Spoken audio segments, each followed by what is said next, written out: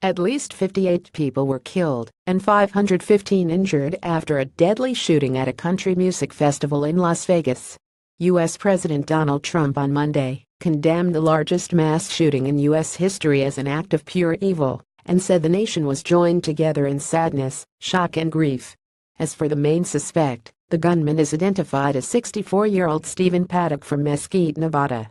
Paddock seems to have opened fire from the 32nd floor of Las Vegas Mandalay Bay Hotel onto a 22,000-strong crowd during a performance by the singer Jason Aldean, the closing act of the Route 91 Harvest Festival.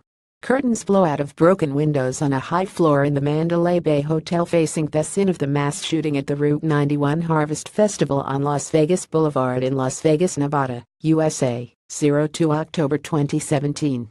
Epifa Paul Buck According to the police, the shooting took place at a country music festival in Las Vegas and shots were fired at around 1008 p.m. local time.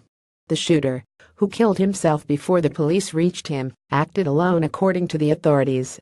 The police have located Paddock's housemate Lou Danley, who was previously named a person of interest, but they now say she is not thought to be connected to the case.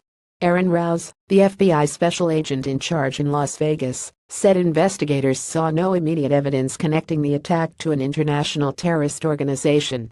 Trump the shooting is an act of pure evil President Trump called for national unity after the shooting, which he described as an act of pure evil. He said he would visit Las Vegas on Wednesday to meet with law enforcement, emergency medical workers, and families of victims. We call upon the bonds that unite us, our faith, our family, and our shared values, he said.